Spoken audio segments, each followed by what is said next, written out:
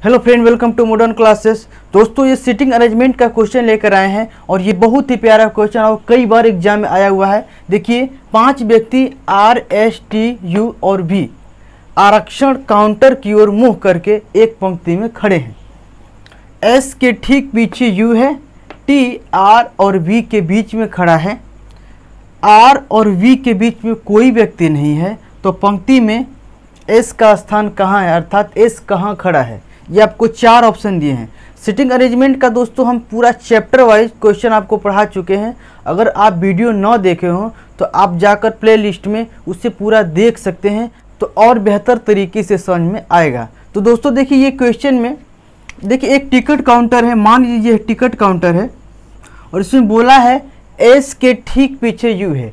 मान लीजिए यहाँ अगर एस है तो उसके ठीक पीछे कौन है? यू है। फिर टी आर और वी के बीच में खड़ा है। तो ये एस और यू के बीच में टी का और आर और वी का कोई रिलेशन नहीं दिखा रहा है, इसलिए इसको थोड़ा से, थोड़े टाइम के लिए अलग बनाते हैं। टी का पोजीशन क्या है कि आर और वी के बीच में है। आर और वी के बीच में कौन है? टी है।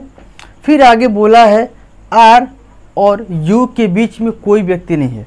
अर्थात कहीं ना कहीं आर और यू का रिलेशन दिखा रहा है तो हम आर को यहाँ शिफ्ट कर सकते हैं।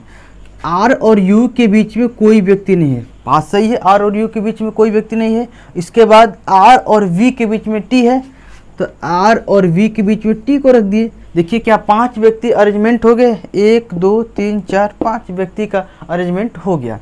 इसके बाद बोला है तो पंक्ति में एस कहाँ खड़ा है? तो आप कह सकते हैं पंक्ति में एस प्रथम स्थान पर अर्थात शुरुआत में खड़ा है। अर्थात ये पहला ऑप्शन है। आपका पहला जो स्टार्टिंग में एक नंबर पर आपको कौन सा खड़ा है? तो व्यक्ति खड़ा है। तो दोस्तों, हम आशा करेंगे जो हमने आपको बताने का प्रयास किया है, वो आपको समझ में आया होगा। तो दोस्तों, हम इसी प्रकार के पर डे वीडियो लेकर आते रहते हैं। तो यदि आप नए हैं तो हमारे चैनल को सब्सक्राइब करें और बेल आइकन को प्रेस करें। तो दोस्तों, आज के लिए बस इतना ही। मिलेंगे नेक्स्ट वीडियो में। तब तक के लिए धन्यवाद।